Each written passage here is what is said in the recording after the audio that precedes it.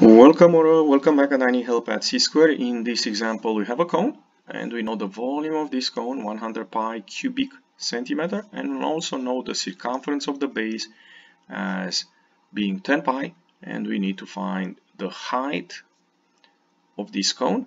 For that reason I'm going to use this formula you see down here which says the volume equals 1 over 3 pi r square h. So if we know the radius and if we know the volume, we can replace it and solve an equation with h.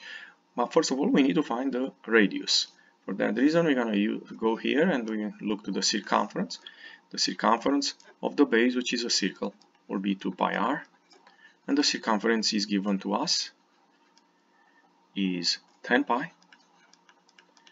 So we're going to have to solve this equation in r the first thing you can do here is to get rid of the pi.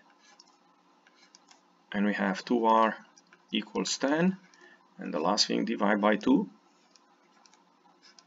and we have r equals 5 the radius of this circle the base of the cone is 5 so now we're going to go back here in this formula.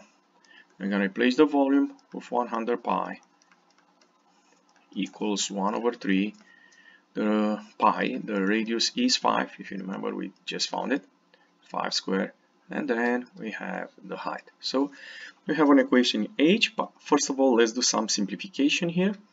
And the first simplification I will do here, I will multiply by 3 both sides. And also I will simplify this pi like we did before. So we have 3 times 100, that is 300. And this 1 third and this 3 cancel out. And here we have these 5 squared, that will be 25. And just h. So the last step to solve for h will be to divide by 25.